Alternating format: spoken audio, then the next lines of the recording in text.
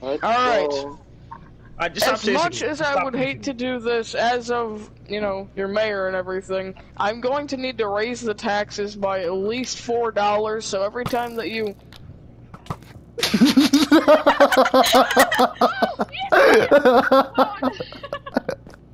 Blood was not. as soon as you mentioned taxes.